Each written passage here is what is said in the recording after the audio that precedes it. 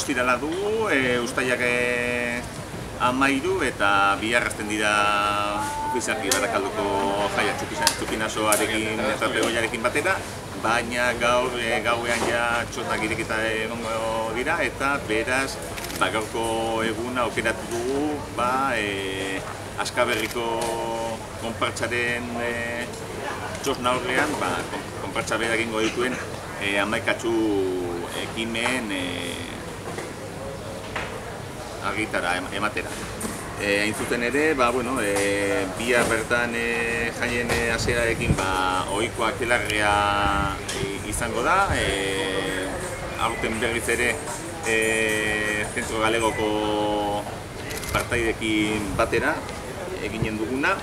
eta ba, datorren asteko eguaztena kama sortzian e, esposizio txiki bat egin dugu baita ba, e, bortizkeria matxistaren in, in, inguruan eta bortizkeria matxistra salatuz eta horien egin dituzke bereziki azpimarratu. Gero ere, badakizuenez, ba, txosna honetan e, mugitzen diren e,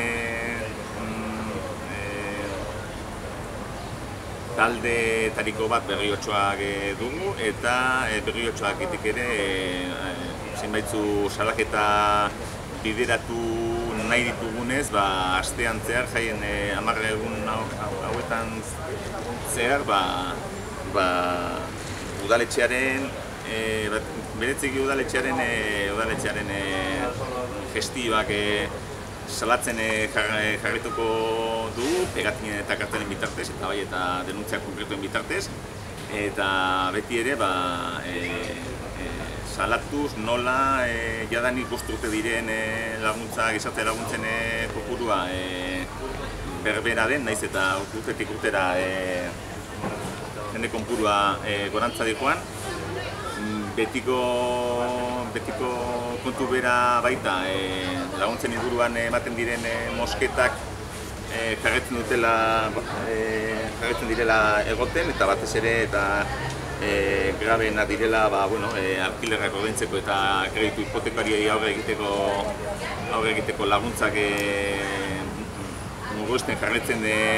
dutela eta bertzalderen egin san, san, aipatu nahi genuen edo jendeari ikustaratzen nola ba, udaletxeko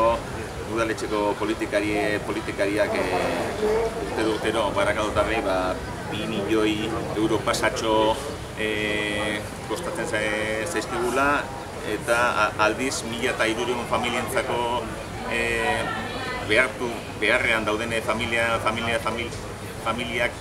e, milioi batetik berako diru kopurua daukatela daukatela e, jarrita